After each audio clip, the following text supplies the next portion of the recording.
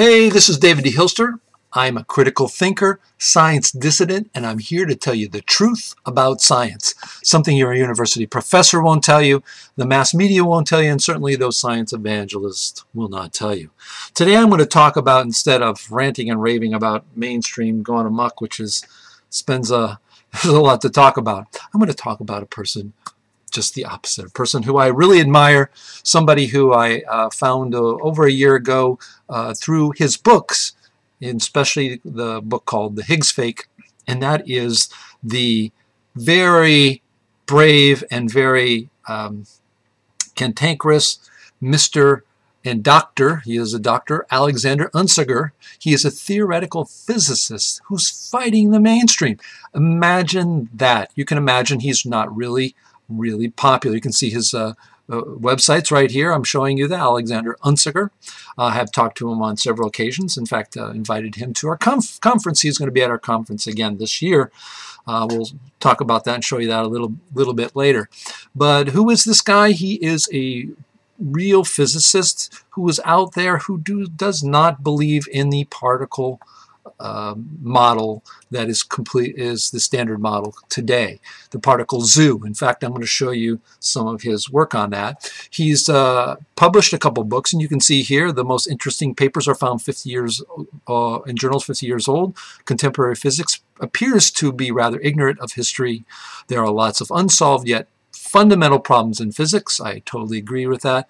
This one I don't agree with. Yes, Einstein's theories can be understood. Yes, they no, they can't. They're paradoxical, they're impossible to understand. But that's just a small point with me with him because you can't do everything. Uh, you can fight your fight. Everyone can't fight everything at once. But he certainly is a refreshing, wonderful voice in the area of theoretical physics. And he believes that all of it should be thrown out starting around 1930. You hear me talk about that a lot, and I agree with him, except I agree that it should be thrown out even more. Neutrinos don't exist, and um, uh, some other ideas. But regardless, he is a hero of mine and a hero of a lot of us in the community because he is out there talking with Nobel Prize laureates, confronting them. And we'll look a little bit of that today. Let's take a look at some of his books uh, that you can uh, take a look at. Um, I'm getting here. This latest book's called The Einstein's Lost Keys, How We Overlook the Best Idea of the 20th Century. Um, it's about uh, some of Einstein's ideas, uh, but uh, that we've overlooked. Uh, of course, um, I don't believe Einstein's theories are correct, neither special nor general. But this is a, a little different take on things. But regardless, that's one of the books he recently uh, put out, if you're very interested. This one I really, really like a lot, and that's The Higgs Fake, How Particle Physics Physicists Fooled the Nobel Committee. Let's tell the truth. The Nobel Committee and physics is fooling everybody. They're not. It's not particle physics fooling the Nobel Committee. It's everybody fooling all the general public, including the Nobel Committee. They give out uh, prizes for things like the neutrino, which doesn't exist. They give prizes out for the Higgs boson, which doesn't exist, and they've given out many, many prizes. They just look at what's sort of in trend, and then they say, oh, this is going to be important. They already deem it important without it even being important yet. The Higgs, once it was found, was like, oh, it's important. So, um, very good book. Uh, I highly re recommend it. Another one that's really great is Bankrupting Physics, How Today's Top Scientists Are Gambling Away Scientific Credibility. Obviously, this man is out there on the forefront of criticizing mainstream physics, contemporary physics, and uh, absolutely applauded for him to do that. Um, and let's take a look at, he has a, a channel. The channel is called, um, uh, let's see here, which one are we at? Uh, bu -bu -bu oh, we, uh, we'll take a look at his channel, but let's take a look at uh, our channel, uh, one of our, our organization's channel, which is the John Chappell Natural Philosophy Society's channel. And on there we have our, our um, uh, videos. We've had uh, almost 12,000 views on all our videos over the years. Uh, we've only been around a couple of years, but even though the organization in another form was around over 20 years. So it's really more over 20 years, but just recently. Our biggest video is the Higgs fake, a critique of modern particle physics. I made this whiteboard and, about the, his uh, book, and I think he's probably had links to it too, but it's gotten a lot of hits, uh, over a thousand views, and for us that's quite quite numerous. And of course, if you look further down, um, we actually have some other ones here. If you look down, it's our fourth biggest. It's Dr. Unzicker on uh, interpreting empirical evidence, which was a talk he gave at our conference last year, and he's going to give us another talk. So you can see that our organization, uh, the critical thinking organization of the world, uh, is uh, uh, very much following this man and his work and just give him standing ovations for what he does. I can totally forgive him for uh, staying on the Einstein train. Don't worry about that. He's fighting a bigger fight. So uh, let's take a look at something. It's, I think, uh, very interesting. Uh, which one? Okay, here's one. The neutrino uh, crisis in neutrino physics. Of course, neutrinos I don't believe exists. I don't know. If, I think I'm not real sure if Dr. Unzicker thinks they exist. I think he may think they exist, but not so many forms. I disagree. That doesn't read Dr. Carezani, Dr. Unzicker, uh, another physicist, uh, a doctor of physics from Argentina, my mentor. Take a look at that. But I'm not here to talk about that. I am here to talk about what he does in the beginning of his lectures in Europe. This is really telling. Let's listen to it and let's talk about this. Thanks for attending. Everybody sure he or she wants to stay.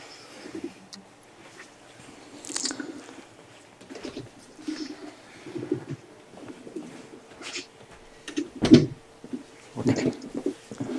Everybody's sure, so we can we can start.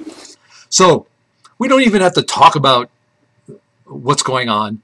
He literally, when he gives talks, says that, I think, oh, not all of them, but most of his talks, uh, when they're controversial, which most of them are, he says, does anyone, you want to make sure you want to stay? You, you, you sure you want to stay? You heard the door slam. You saw a person walk out. I'm out of here.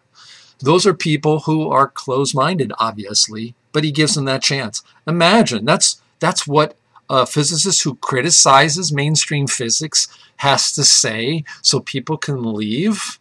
I mean, what is this, blasphemy? It's a, this is religious, folks. This has nothing to do with science. Disagreement is important. Uh, uh, I, new ideas, criticisms are very important. You need to face those. If you don't face them, you become a religion and not a science. So that was that's an interesting uh, happening here. Um, another part is how he goes and talks about uh, particle physics and what he calls, and very much so uh, Dr. Carezani, Dr. Ricardo Carezani, is also who says, and that is uh, the particle zoo, this amazingly un, uh, unorganized mess, as, as Dr. Carezani calls, a zoo of particles that we have, calling it the standard model. Of course, it isn't even a model. It should be a standard theory because there's nothing physical about this. And let's uh, see if I got this in the right place. He's uh, talking about this and uh, this particle zoo. This gives you an idea of what he's trying to fight against and throw away this standard model.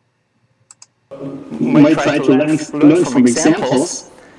According to particle physicists, the most simple explanation of reality is like this up quarks, down quarks, strange quarks, jump quarks, bottom quarks, top quarks, three colors each, electrons, muons, tauns, electron neutrinos, mu neutrinos, tau neutrinos, W bosons, Z bosons, Higgs bosons, gluons, and so on, and so on.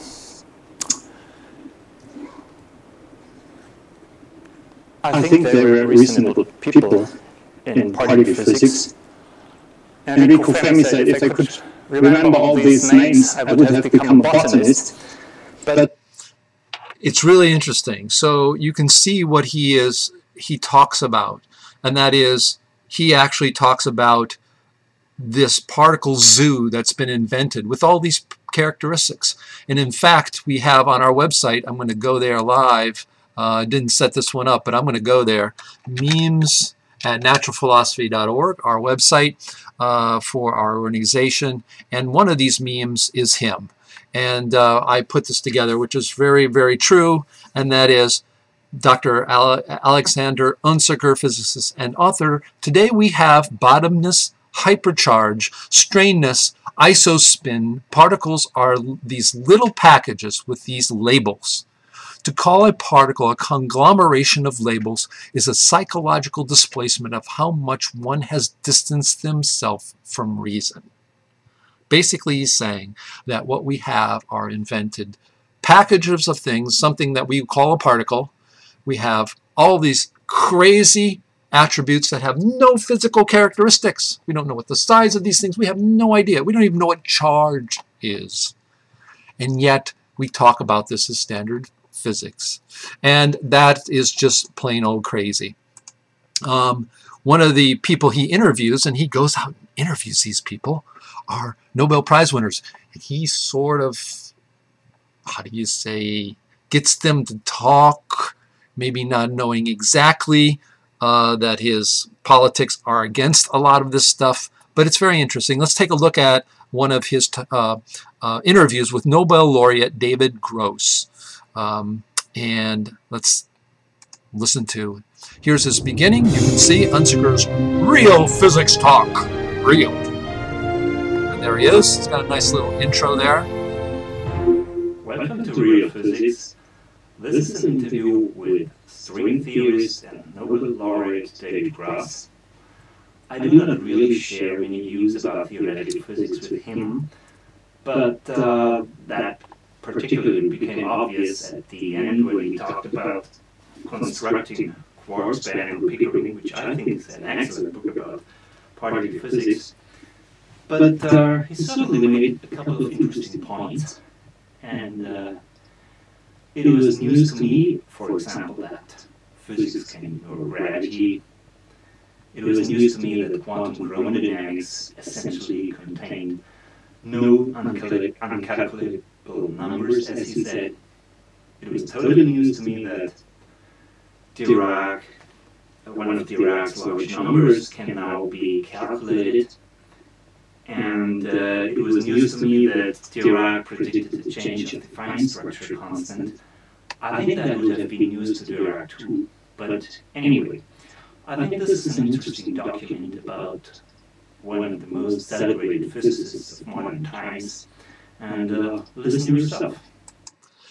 And basically, what he does in this interview is go and, and ask questions, and then when you hear the blah, blah, blah, the things that really don't make sense that are self-contradicting. And if you notice there, he was talking about things. You don't have to know know a lot about particle physics and say, well, I had no idea what he's saying. He's basically saying, well, it's interesting he says X, and then he says Y, and he says Z, and it's news to me that that, that he said uh, W. And, and I think Dirac would have been news to him. Basically saying he's lying about X, he's lying about Y, and he's lying about Z, and oh, also W. Uh, he's not saying that specifically, but that's what he's meaning. He said news to me is a, a polite way of saying, um, no, folks, you just say those things, but in reality, that's not true. Now, I, I can go on and, and play this. You can play through it, and if you know a little bit about particle physics, this guy is all over the place. But I think what's really interesting is to watch the end here and how he becomes very frustrated at the questions and what happens Could there be some observation of penetration, but it's not need. That's right. There's there's good Aristotle and Ptolemy. My God, and they're equally valid because, as Pickering says, there is no real truth. It's just an agreement between two Anyway, you know, this is not, not, not worth discussing. So my criteria of what is in, in physics is very uh, joking remark. Is if it once it enters the history book, the high school textbooks, it's there to stay. You know, Newton's theory is there to stay. By the way, Mr. Pickering, Newton's theory, we know it's kind of wrong, but it's not going to go away.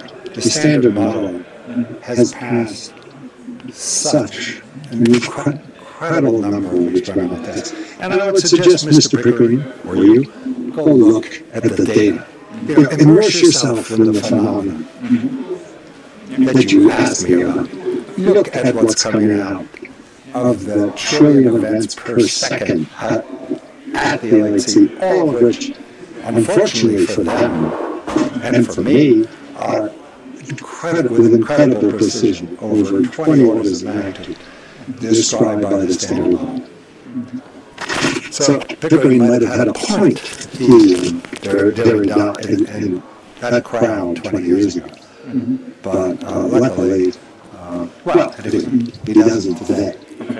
Anyway, I seriously appreciate uh, the conversation. So he got so mad he just sort of stormed out of there. He always compared himself to Einstein too. He says, well, you know, Einstein thought this, and, and we think,